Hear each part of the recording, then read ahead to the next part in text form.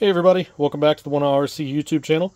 Just got a quick update tonight. We did get the chassis extension pieces done. Um, I just used whatever filament I had laying around. The top's rainbow, the bottom's purple. Um, servo's not bolted in, but it is in its final form here. And a huge thanks to Colton over at RC Crawler. Uh, man, I couldn't have done this without you. This thing came out perfect. Um, this is the final form for the bottom piece as well. I don't have all the screws in it just because that's just more to take back off. Um, going to be taking this off. This will be the prototype for a set of carbon fiber plates. So going to order up the cloth and get that done here in the next week or so. Um, these are just way too flimsy. Uh, they're just done in PLA, and I don't know that nylon's going to be much better. But that is the latest on Project What the Front Wheel Drive. Thanks for watching. Um, click the subscribe and the bell down below if you're not already, and have a great day.